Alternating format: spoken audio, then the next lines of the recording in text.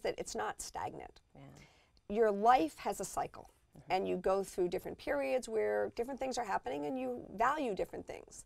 You need to match up your career objectives with your life cycle, which is something that was not even possible in a world of a traditional career. Right. You did what you did, you were promoted when you were promoted, but you have events in your life. You have marriages, you have children, you have illness, you have hobbies you love. Mm-hmm. And what you want to do is to take a longer view mm-hmm.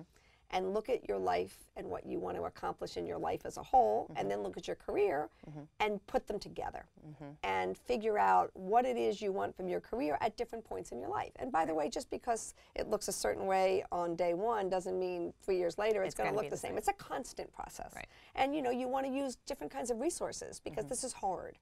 You want to go to your friends and your colleagues. You want to go to the kind of services that Stanford has. I know they have great Stanford has actually know- some some excellent Right. services, um, and I'll, I have a good example of a friend that he it was he was a career independent uh, or management consultant, uh, very successful career. He loved his work.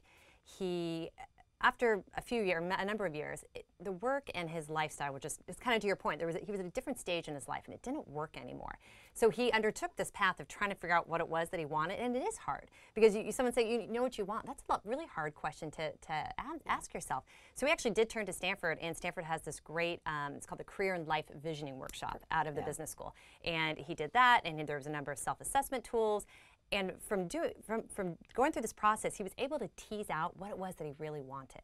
And as a result, he actually switched careers into financial management. So I, I interrupted you there, but that No, was but I yeah. think I think the really important point is this is new. Yeah.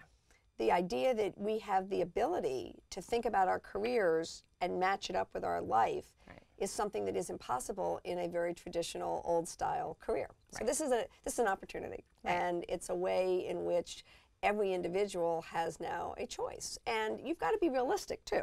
If you say I want to be the CEO of a Fortune 500 company or a high growth venture company, you know, you've got to understand what it means to do those uh, particular jobs and whether in fact you can make it mesh with whatever else you want to do. So it, it's a hard exercise, but it's the foundation to any career pivot. You have to know where you're, you're trying to That's go right. to and what you want.